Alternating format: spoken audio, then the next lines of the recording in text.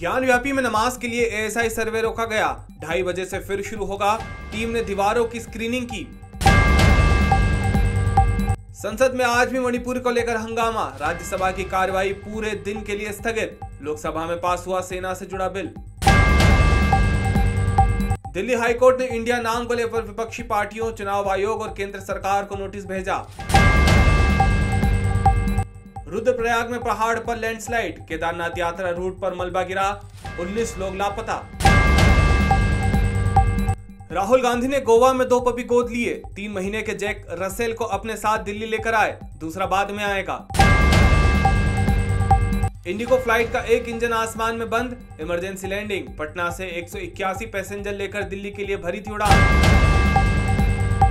घाटी में बैंक कर्ज चुकाने कारोबारी घर तक बेच रहे। हालात सामान्य पर बेरोजगारी दर तीन गुना। महाराष्ट्र के 2418 सरकारी अस्पतालों में इलाज पूरी तरह से निशुल्क। सभी टैक्स भी फ्री होंगे। नासिक और अमरावती में कैंसर अस्पताल भी मुफ़्त इलाज करेंगे।